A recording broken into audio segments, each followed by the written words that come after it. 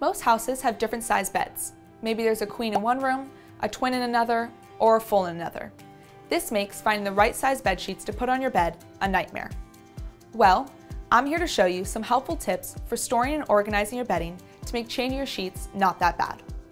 First, what I like to do is fold full sheet sets together. So, for example, this bed behind is a king with two pillows on it.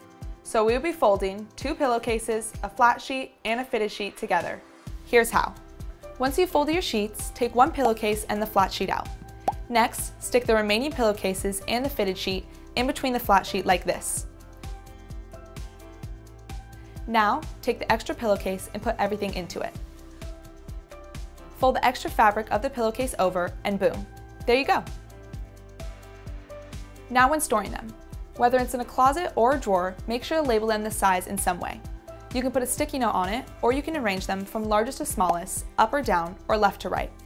Whatever you prefer. All are good options.